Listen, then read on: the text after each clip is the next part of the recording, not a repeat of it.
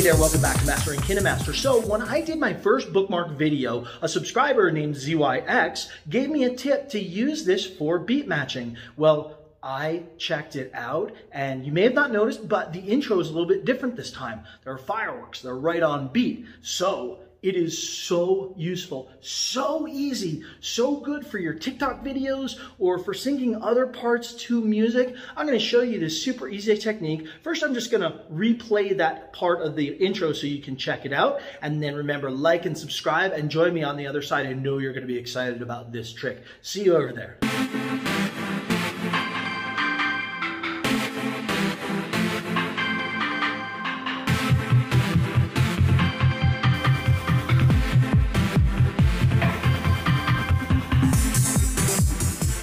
I'm going to start this project out with a plain black background clip stretched out to the length of the music that I want and now I'm going to add the music because what I'm going to do is I am going to mark the audio and I'm going to show you what that means. So this is the song that we used and this song has these little bell sounds in it and so that was where I wanted to make the fireworks go. So what I found out is that when I hit play in preview, if I tap on the red playhead, it's going to drop a purple marker as it goes in real time. So I can play it kind of like I'm playing the drums, which is really awesome. So I'm going to do this now. And when you hear the bell, you'll see that a blue spot drops just for the first four bells. So let's go.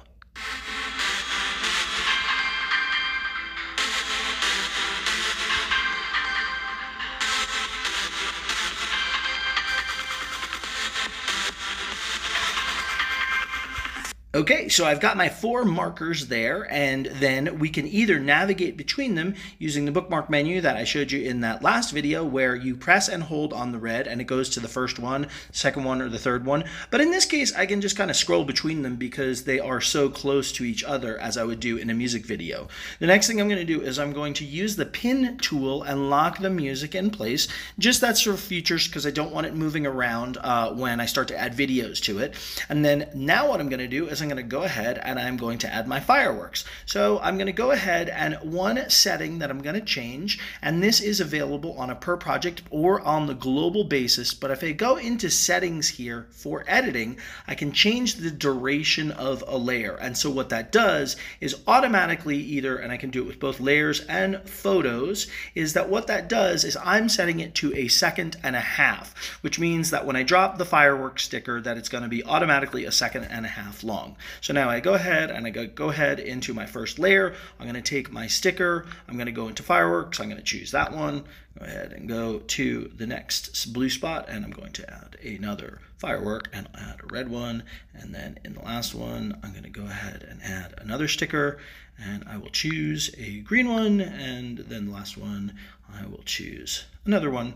Um, and I'm moving quickly in this is that, um, you know, I think I would do this first, although I might put my actual video content in first. I'm not sure which way that I would specifically do it. And then, of course, I could reposition all the fireworks and all of that. But let's just play it once through and you can see the result, which you've already seen, but check it out again.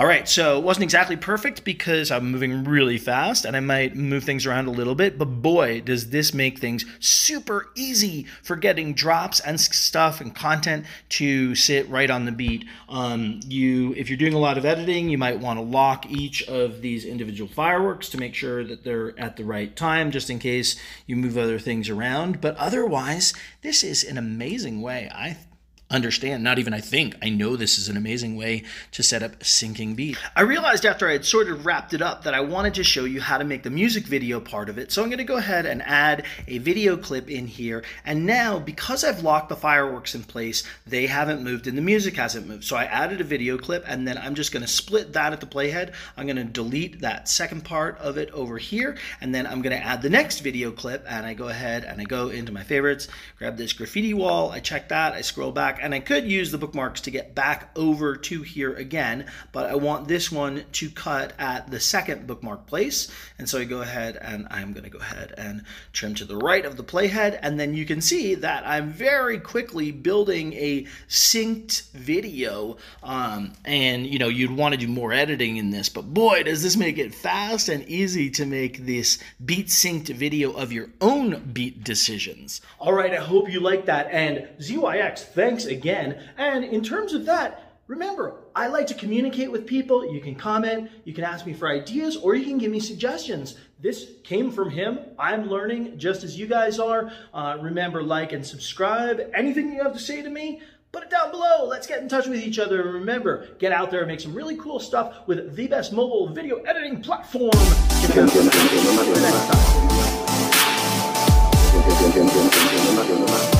KineMaster.